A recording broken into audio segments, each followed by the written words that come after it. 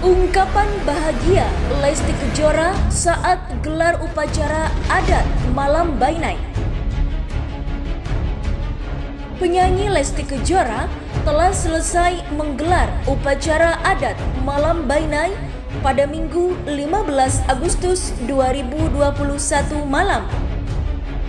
Upacara adat tersebut berjalan lancar dan penuh haru Lesti mengungkapkan dirinya sangat menantikan upacara adat malam Bainai tersebut. Pemirsa, bersama channel Auto Rumpi, kami hadirkan kabar terkini, terpercaya, dan teraktual.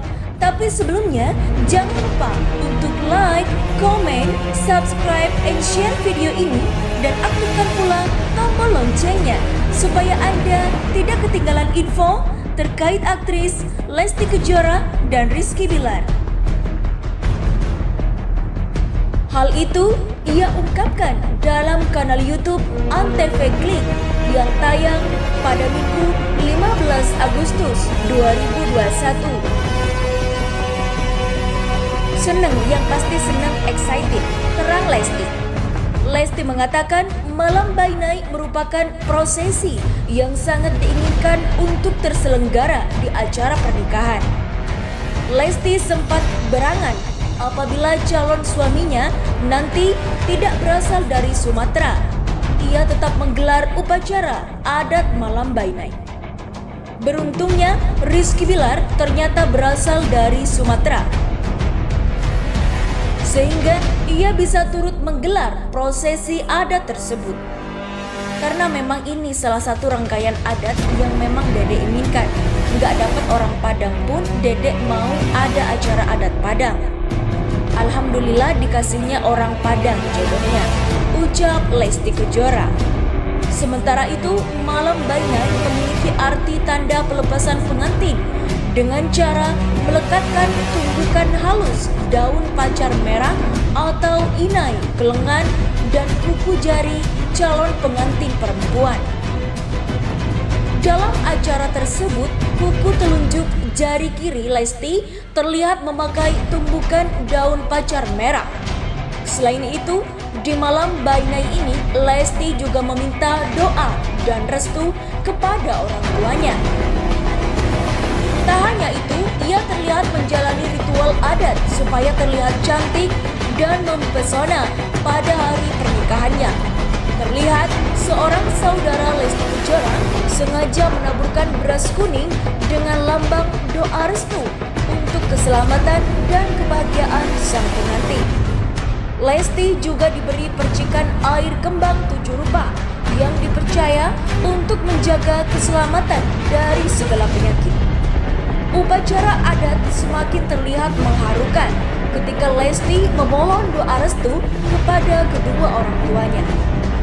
Ayah Lesti Kejora, Endang Mulyana, memberikan pesan kepada Lesti. Endang Mulyana meminta agar anak gadisnya lebih bisa bersabar ketika membangun bahtera rumah tangga dengan suaminya. Ya, pokoknya kalau udah rumah tangga ya pasti yang diutamakan kesabaran terang Endang Mulyana. Ia berpesan supaya Lesti dapat bersikap lebih dewasa saat menjadi istri dari Rizky Bilar. Lebih dewasa dan penuh kesabaran, ucap Endang Mulyana.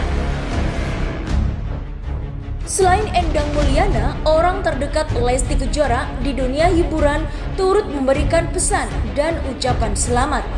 Salah satunya adalah Iis Dahlia orang yang sudah dianggap Lesti sebagai orang tua keduanya. Lesti Bilar selamat, ini baru step awal, masih banyak hal yang perlu dijalani. Mudah-mudahan step demi step bisa dilalui. Terang Iis Dahlia. Ia berpesan pada Bilar supaya tidak bersikap macam-macam saat sudah menjadi suami Lesti Kejora. Kalau Lesti mah, mama tahu. Kalau Bilar nakal-nakal sentil ya, Bilar hati-hati, mata mamah banyak. Terang Iis Dahlia. Namun, Iis Dahlia percaya kepada Bilar dapat bertanggung jawab dan mencintai Lesti sampai akhir hayatnya. Mama Dede naik hitam dengar ucapan Rizky Bilar tentang anak Lesti Kejora. Minta pikiran sang aktor dirubah ke jalan yang benar. Setelah beragam kendala, akhirnya pengajian sebagai rangkaian acara pernikahan Rizky Bilar dan Lesti Kejora dilaksanakan pada Sabtu 14 Agustus 2021. Sempat mengalami penundaan, acara pernikahan Bilar dan Lesti dijadwalkan ulang pada 19 Agustus 2021 nanti. Dalam prosesi pengajian baru-baru ini, turut hadir pula pedakwa Dede Rosida yang karib disapa sebagai Mama Dede atau Mama Dede. Mama Dede pada acara tersebut memberikan beberapa wejangan penting untuk calon pengantin. Dikutip dari visionplus.id, Bilar dalam kesempatan tersebut bertanya kepada Mama Dede mengenai doa meminta anak laki-laki. Bilar diketahui ingin kelak kehamilan pertama Lesti Kejora yakni mengandung anak laki-laki. Akan tetapi, pertanyaan Bilar membuatnya kena tegur. Mama Dede mengingatkan baik laki-laki maupun perempuan, rezeki anak dalam pernikahan adalah berkah yang pantas disyukuri dan dijaga. Ia pun memaparkan doa mengenai anak dalam pernikahan. Yang sudah menikah, kemudian sudah menikah belum punya anak, doanya sama Bilar. Anda silakan lihat Al-Furqan 74. Ujar Mama Dede melansir YouTube Antv via grid.id. Punten kita silakan lihat di surat Asyura 49 sampai 50. Dari ayat ini jelas kalau ada keluarga anaknya semua perempuan itu kehendak Allah. Kemudian semua anaknya laki-laki itu kehendak Allah. Laki-laki perempuan kehendak Allah. Mandul kehendak Allah. Kata Mama Dede dikutip dari YouTube Antv. Aku berikan anak laki-laki perempuan pada siapa yang aku kehendaki. Aku berikan mandul pada siapa yang aku kehendaki. Dari ayat ini jelas kalau ada keluarga yang anaknya semua perempuan kehendak Allah. Keluarga anak laki-laki semua kehendak Allah. Keluarga anak laki-laki perempuan kehendak Allah. Yang mandul kehendak Allah. Paparnya, keinginan Bilar untuk memiliki anak laki-laki langsung dipatahkan oleh Mama Dede. Mama Dede meminta agar Bilar mengubah cara berpikirnya. Jadi doanya bagaimana? Minta yang terbaik, Alhamdulillah.